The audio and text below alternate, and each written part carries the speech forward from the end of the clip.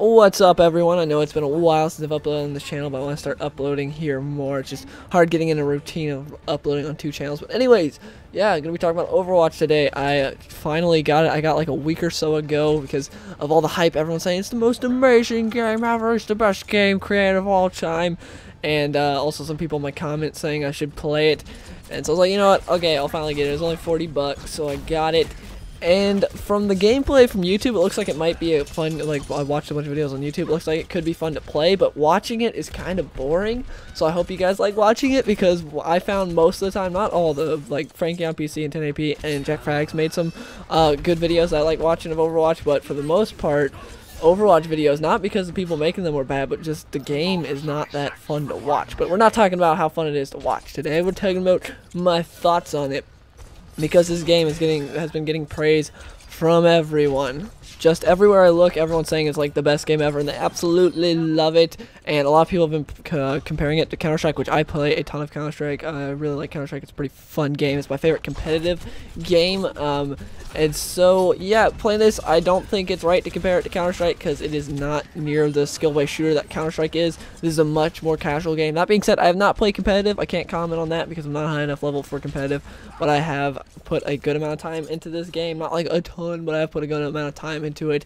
And this is just sort of first impressions because I'm not going to be like this game for this for sure and this for sure. Granted, you do get a pretty good feel for the game without having to play like 100 hours or anything like that. But yeah, um, the game's pretty casual. There are some ca characters that have a learning curve, like Genji. He's my favorite. He's the one, like, when I got this game, I wanted to play as, like, him. Hanzo, I think is his name, the guy with the bow and arrow and uh, McCree because Cowboy, Ninja, and Archer. That's like that's what immediately drew me to this game when I saw Genji. I was like, okay, I want to play as a ninja. There's not many multiplayer games that let you play as a ninja right now. Nevertheless, like as the robot ninja. So yeah, super excited. I love his abilities. I think Genji is really balanced and really well made character. I think he's really cool and he's done uh, really well. Blizzard just did a good job with him, but there are some characters where you just question, like, what? Because for the most part, the balance is really good in this game. The anti-cheat is great, like the system they use, I love it, but some characters like what like to well mainly uh to, it's junkrat I, I hate that guy to me he's like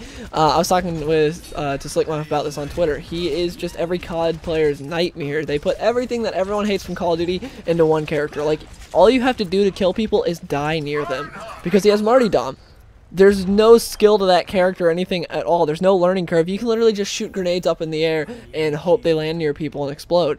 Or, again, you can just use Martyrdom, go and die near people. I've done that before to clear out a spot. I've gone and just put down a ton of grenades and then died in Martyrdom and cleared it. It's ridiculous. You shouldn't be able to do that. Uh, it's I think that's stupid, but yeah. Uh, then you have you have Soldier 76, I think his name is. Again, I'm not. Uh, I, I mainly play Genji, so I don't know everyone's name.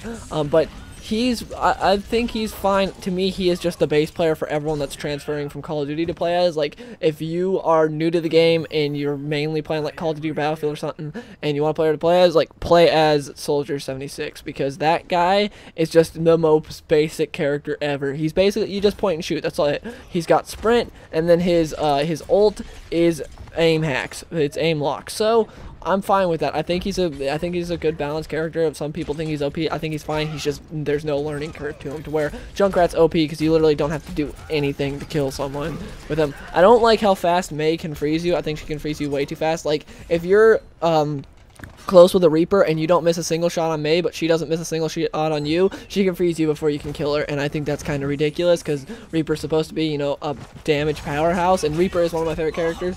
Um, I think the characters for the most part are pretty balanced, pretty good. Genji again is my favorite. Uh, McCree was a little rough around the edges when I first started, and also I got this game after the patch for McCree, so he wasn't OP when I am. I see Genji flying there, but yeah, um, I had a ton of fun with McCree. I think he's pretty good for like a longer range gun, uh, guy because his gun is so accurate and it's fun being able to play as a cowboy in multiplayer. I think that's pretty cool. The ults, for the most part, are all pretty good and well balanced. Like, I don't really have any complaints for anyone's ult, like, oh, that's OP or anything like that. My my only character complaints mainly are Junkrat and Mei, because I think Mei can just, uh, can get, freeze you way too fast, and Junkrat, you literally don't have to do anything to kill people. Like, right there, I got killed by Martyrdom. I just had a sick play, and Martyrdom killed me. It's like, really? Something that everyone complains about in Call of Duty, and you decide, hey, let's add it to a character. I just killed that guy with, and it's just like, yeah, guess what? You didn't. This guy gets a Martyrdom kill because he totally deserved it. But yeah, overall, I think it's pretty fun, pretty well balanced, but very casual. There are some a lot of players. I mean, there's a lot of characters that don't really require any skill at all. To where like I don't think it's right to compare it to Counter Strike because Counter Strike is a much more uh, skill game. Like there's so much more of a learning curve for Counter Strike and learning spray patterns and everything, and being good with the gun, and holding angles and everything. To where this it's not near that much. There is definitely communication needed for uh, some game modes and everything. But yeah, those are my thoughts on Overwatch. Hope you guys enjoyed the video, and I'll see you in the next one.